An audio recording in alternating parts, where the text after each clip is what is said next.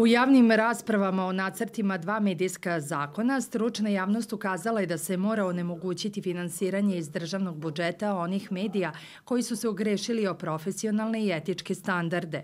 Novi zakon trebalo bi da reguliše REM, te bi tako predlagači članova Saveta REMA trebalo da budu udruženja, a ne država.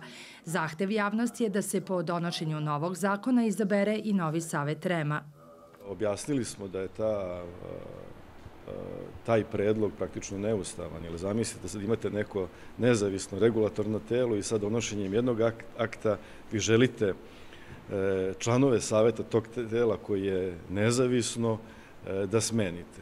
Jednostavno takva odredba bi plala na Ustavnom sudu i ne želimo to da dozvolimo. Medijska strategija, što je državni dokument, dakle, pre više od tri i po godine predvidela da se u momentu donošenja novog zakona bira ceo novi savet REMA. U NUNS-u smatraju da predlog zakona ima dobrih rešenja, ali da je problem primena.